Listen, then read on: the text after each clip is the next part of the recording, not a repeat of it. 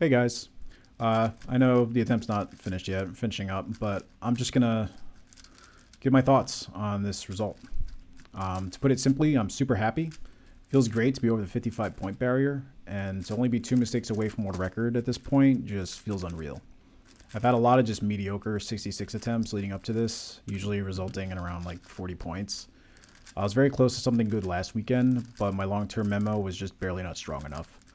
So yeah, I aimed to go a bit safer with those on this attempt, and I slowed it down to about 22 minutes, which felt great. In fact, it's probably the most confident I've felt with my long-term memo in comp so far.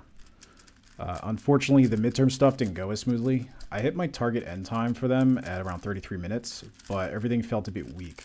I started to worry that the memo for those wouldn't last, so I really rushed to the short-term stuff so I could return to them as soon as possible, with the hope that I wouldn't forget as much.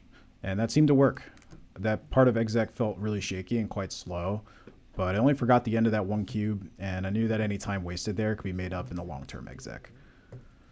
Very surprised the majority of the DNFs were in the long term.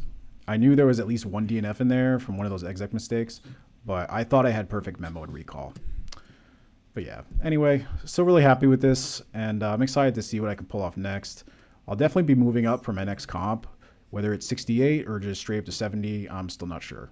I'm going to have to practice a bit with both of those amounts before making that decision. So yeah, I hope you like these breakdown videos. I'm going to be making more of these. Um, they're a lot of fun to make. So yeah, uh, thanks for watching.